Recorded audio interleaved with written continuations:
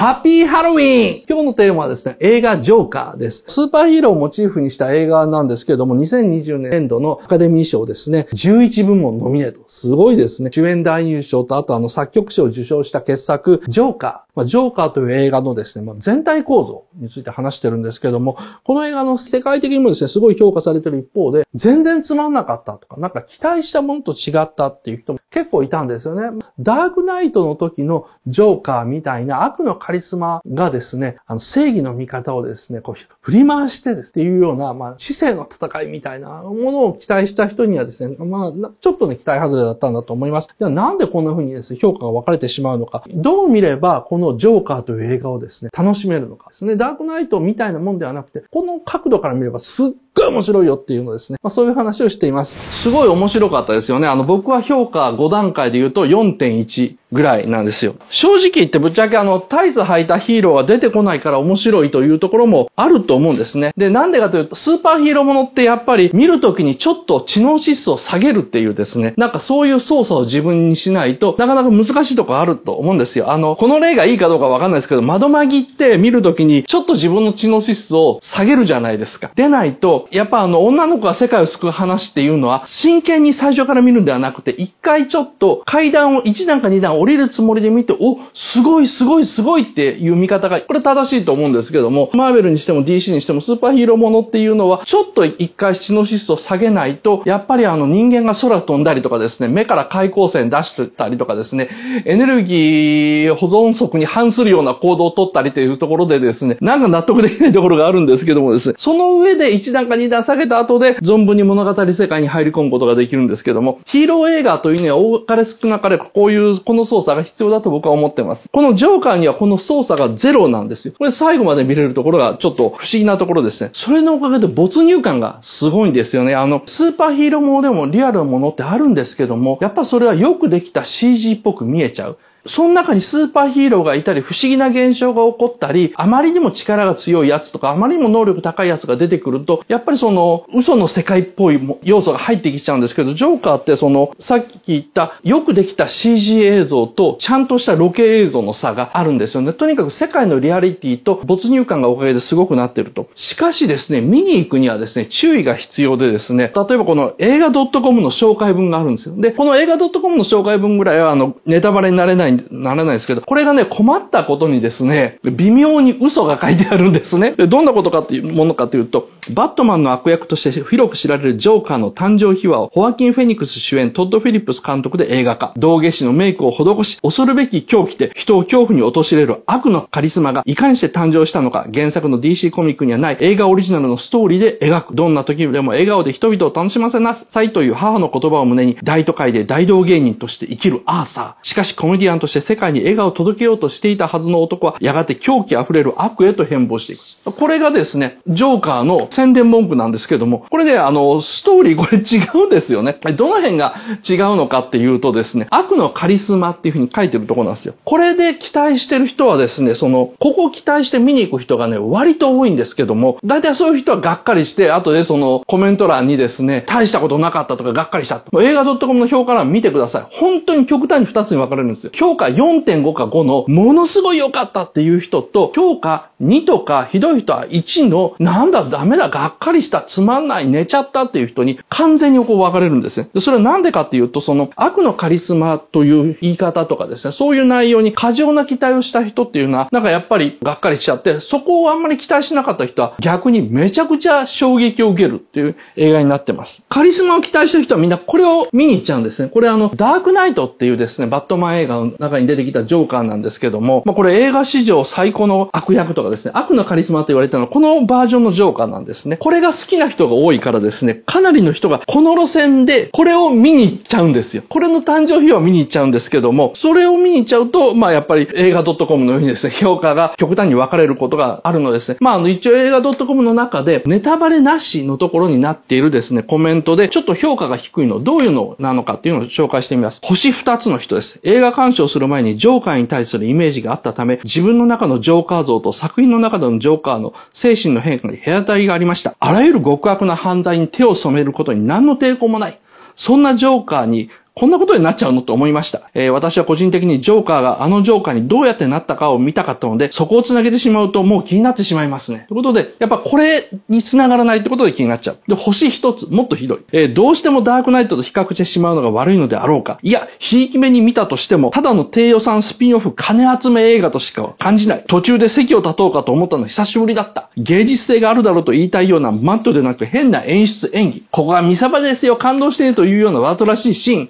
薄すぎる内容なのに雑ライフを覗かしてしまうとは、いろいろな映画やドラマを見ている人は感じるかもしれないが、その変な演出演技でさえ全て借り物。使い方に統一性や信念というものが感じられない。はっきり言って軽薄で根性が悪い映画だ。ぜひ見に行って金をドブに投げ入れてみてくださいというですね、星1個なんですよ。もっと星0.5個っていう人がいてですね、アーサー・フレックとかいう人の物語であったけど、俺の見たいジョーカーじゃなかった。あんなわかりやすい不幸な背景がジョーカーの発端だとしたらがっかりだね。あの程度で狂ってたら世界中は器用人だらけだよ。同情すら寄せ付けないのがジョーカーだ。そんなものに賞をあげるベネチア映画祭は金を落とした。予想を超えることが全く起きなくて3回ぐらい寝たと。ここまで起こるんですよね。でなぜこんなに評価が低い人がいるのかと。僕はあの、これをですね、まあこういうのが好きな人には申し訳ないんですけど、あの、羊たちの沈黙現象っていうふうに呼んでるんです。羊たちの沈黙現象というのはね、悪、悪というのは何か理由があると。ヒーローというのは平凡でつまらなくてですね、そういう平凡でつまらないヒーローには決して届かない深みが悪には何かあるに違いないと。レクター博士はそういうのが好きな人にとっては、本当リアルな意味でもうヒーローだったんですよ。誰よりも頭が良くて、で、教養が深くて、で、あの、おしゃれで芸術にも詳しいと。で、そんな完全無欠の人が悪人だったらどんなにスカッとするだろう。そういうふうに考える人が、羊たちの注目を見る人多かったんですね。こういうふうに考えちゃうのはですね、大大体あの、現実の世界ではですね、あんまりあの、悪いことをしないですね。まああの、良い人が多いんですよ。こういう悪に憧れ持つ人は、お坊ちゃん、お嬢ちゃんのですね、良い人が多いんですけども、実際のですね、その、凶悪犯罪と言われる裁判記録とかですね、そういうあの、ドキュメンタリーとか見ればわかるんですけども、実際に起きた残酷な事件とか犯罪、大量殺人の記録は、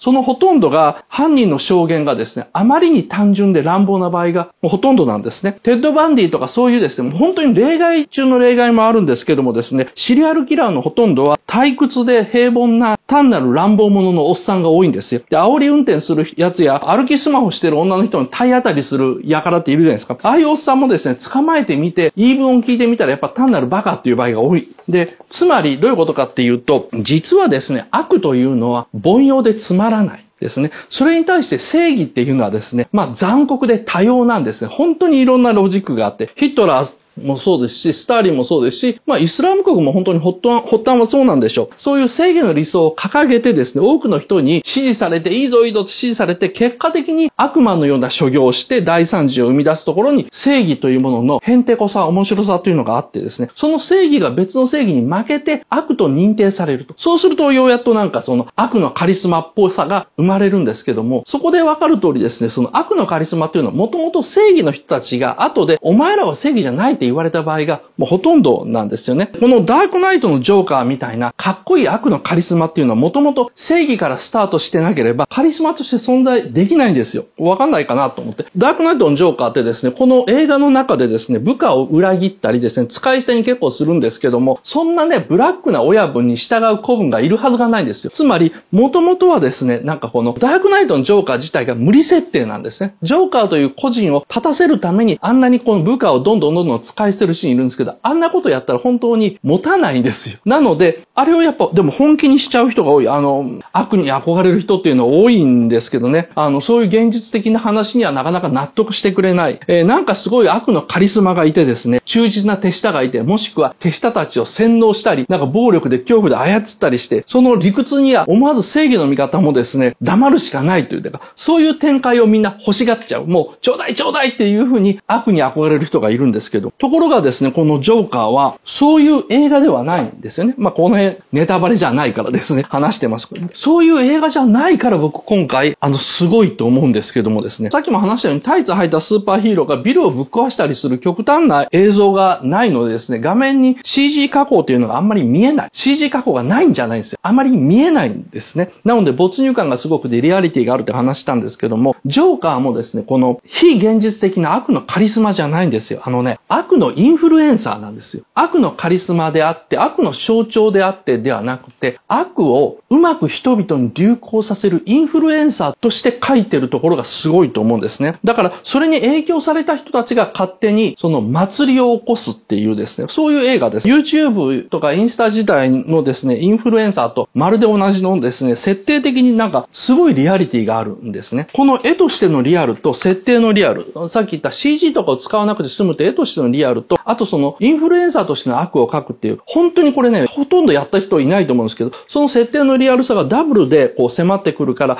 ヒーロー映画なのに割とあの文芸っぽい高級感が映画全体から出てるんですね。例えばそのスーパーマンの青とかですね、バットマンの黒のように、ヒーローものにはシンボリックなそのカラーっていうのが出てくるんですけども、ジョーカーはこの黄色の出し方がすごいおしゃれでいいんですよね。こういうモノクロっぽい感じにしても、この黄色い、いわゆる直帰ですか、こういうの出し方とかはですね、ものすごくおしゃれ。なんですよ。あの、例えばこのパンフレットの表紙になってるシーンですね。アーサーという人間がピエロのメイクをして自分が笑う練習してるんですけども、ここでですね、もう涙が一つに流れてメイクが落ちかけているんですね。早くも。で、これ何かっていうとですね、冒頭のシーンなんですよ。本当に映画のドア玉のシーンで、主人公がピエロのメイクをしてるんですけど、そこで涙がちょっと出ちゃうっていう話なんですけども、つまりですね、この笑われるピエロになりたかったんじゃなくて、笑わせるコメディアンになりたかったんだ。そういう本音を押し殺してるので、その本音がセリフではなくて、メイク中の映像として一瞬出ちゃうわけですね。この、もう本当にこれ冒頭5秒か10秒ぐらいなんです。で、これでね、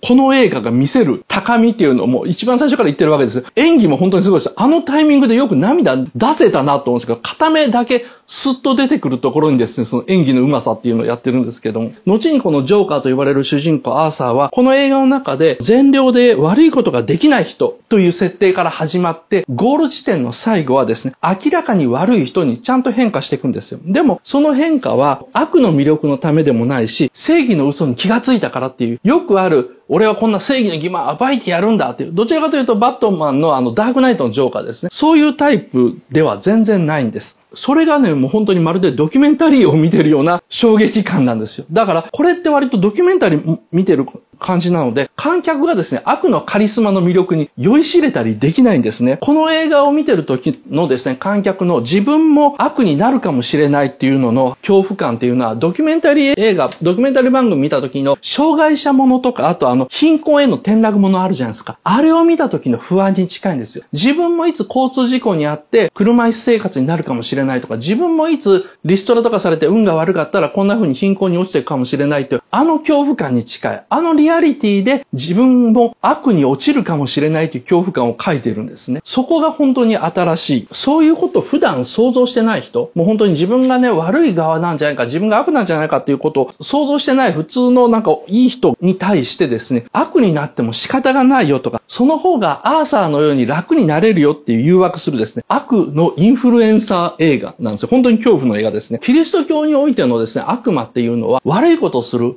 化け物じゃないんですよ。キリスト教における悪魔っていうのは悪いことをする化け物ではなくてですね、悪いことを人に持ちかける存在なんですよ。悪へと誘惑するものが悪魔なんですね。その悪魔の正体って、悪魔のその行動を彼がしてしまうという話です。闇に落ちていく人間、悪に落ちていく人間を取り上げることを、あの映画の中に出すっていうことはそんな珍しくなくて、例えばさっき話した窓マギだってですね、そういう話なんですよ。あの窓マギだって中に登場してくる魔女と言われる敵の巨大なですね、怪物みたいなやつはみんなあの、悪に落ちていった人間なんですね。それが敵役なんですけども、ところがですね、窓マギっていうのは、その魔女になる人間の主観を途中まで書くんだけども、最後までは書いたりしないんですね。最初や途中まではですね、魔女になる直前ぐらいまでは、その魔女の側の主観で書くんですけども、でも闇落ちすれば必ずカメラは主人公側、魔法少女側に行ってですね、なんでそんなことになってしまったのと嘆きはするんですけども、その魔女の方の気持ちを書いたりはしない。昔あの、前略お袋様というですね、70年代のホームドラマがあったんですけども、それが、その中で出てくる証券が、まあ、お兄ちゃんで、で妹分で桃井香織が演じる海ちゃんって女の子がいるんですけど、この海ちゃんがこういう落ち方みたいなものをするんですね。海ちゃんは頭が良くなくから騙されて、で、それでもう仕方がないんですね。で、その海ちゃんが騙されてて落ちていくときに、私も仕方ない、これでいいんだ、お兄ちゃん余計なこと言わないで構わないでっていうふうに言って意地になっちゃうんです。それを見ている主人公の証券は自分の無力さに打ちひしがれると。証券の側からしかやっぱ書けないんですよ、これ。それをですね、海ちゃんの側から書いたらどうなるか。窓側の魔法少女だだって、魔女になってしまったかつての仲間っていうのがいたら自分の無力さに嘆くけれども、最後は魔女っ子たちの勝ちでやっぱ終わるわけなんですけども、ジョーカーっていうのはこの証券とか窓巻義でいう窓かたち、正義の味方がいない世界、存在しない世界なんですね。だからヒーロー不在のリアルな世界で落ちていくっていうのはどういうことかっていうのをもう本当に正面から書いちゃったんですね。そこにはもうかっこよさとか美しさは全くないんですよ。だからヒーロー映画を見に行った、いわゆるその悪の魅力を見に行った人は、やっぱがっかりするわけですね。本当にかっこよさと美しさはない。ゴミに溢れたゴッサムシティよりも、ゴミも含めて全て燃やされていくゴッサムシティの方が、まるでそのテレビの中とかネオンサインのようにですね、ジョーカーに美しく見えただろうけども、割とね、そっちの方を期待していくと、ちょっとしんどいかもしれない。ここまででですね、ネタバレなしでジョーカー話すって、やっぱ、もうこの辺が限度なのでですね、ここら辺でネタバレなしは終わりにしたいと思います。